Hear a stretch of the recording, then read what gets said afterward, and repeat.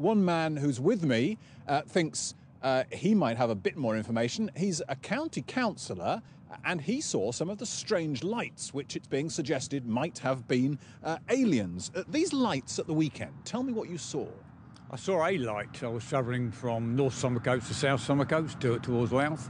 Um, there was a light, um, a static light, which was over the wind turbines.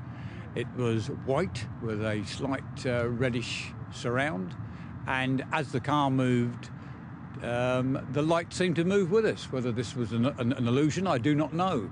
But as we turned the corner, the light seemed to turn the corner and then disappear. And then the next thing you find out is that that yes. wind turbine has yes. been damaged. So I then um, contacted the council and said, could they do a full structural um, report on to find out how the damage was caused. Now, whether this was caused by uh, freezing, it was an extremely cold night, and if you think there was a, if there was a fracture water got into it, uh, that could have caused it.